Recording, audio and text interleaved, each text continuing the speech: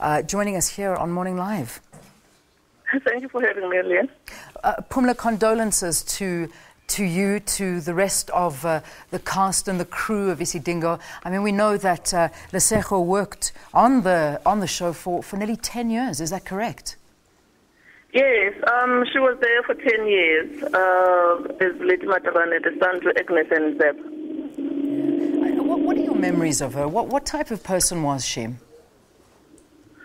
Uh, was passionate about everything and, um, you know, a true professional. She was a very nice person, you know, um, and when she, she loved to chat, she loved to laugh. You know, um, she loved, she had a beautiful, beautiful voice. I will miss that voice.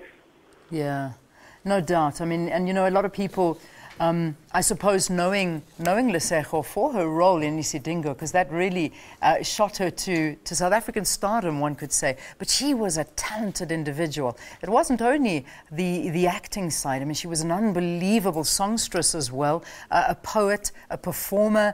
You name it, she could do it. I mean, did, did, you- did you have the, the chance to, to see all those sides of her? Yes, I did. Um, and you know, she sang when we when Ashley died, and you know, then Lee died in the show.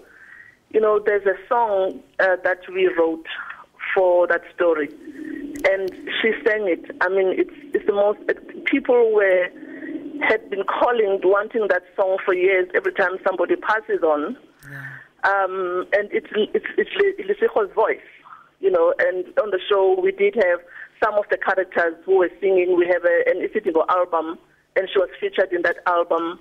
And her poetry outside the show, you know, I used to go and see her. So, you know, I've I've, I've been lucky enough to be able to see all this talent that she had.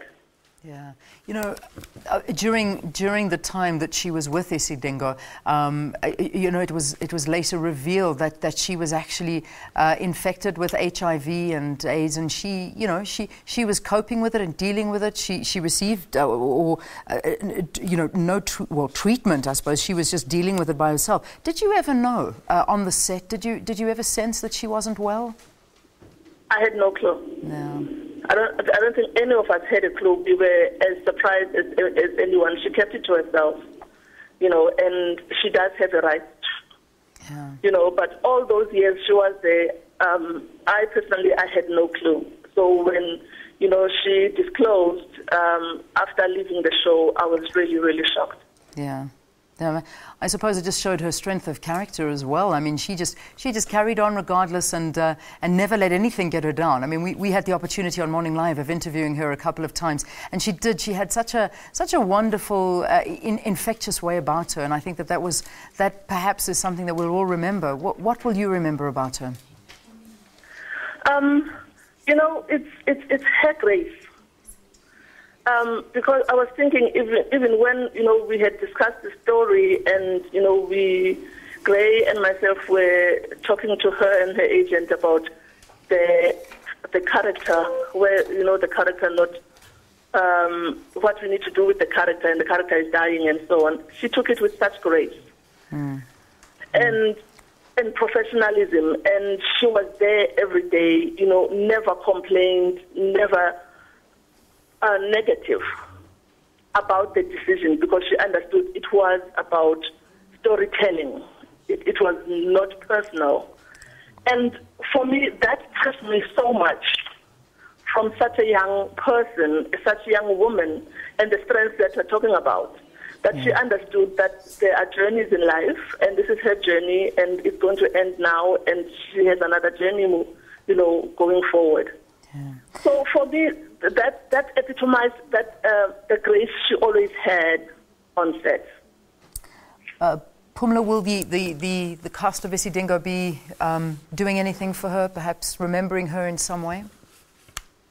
Um, I'm going to the office now because when the new I heard the news, it was late in the In the you know in the day yesterday. Yeah. So now I'm going to meet with uh, management and just discuss what we need to do.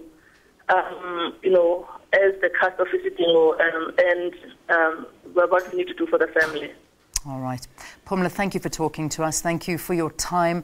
And uh, we wish you all, all strength over this time because uh, it's, it's never easy saying goodbye to such a young, beautiful soul. 39 years old. Uh, we saw the passing of Lesego Motsepe. Uh, she was part of the cast of Isidingo for 10 years. That uh, has been airing here on our sister program for many, many years on SABC3. So, again, deepest condolences to the family and to the friends of Lesego.